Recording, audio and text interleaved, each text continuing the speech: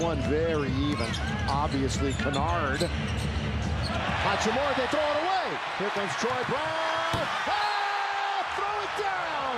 Throw What a bad- it down and a foul. Yeah, bad foul by Konchar.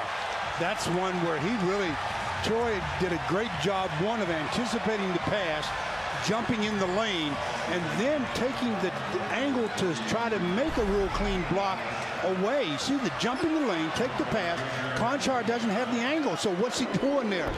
Tries to make the play and ends up with the foul. Three-point opportunity for Troy Brown. Don't challenge me, says Troy Brown Jr.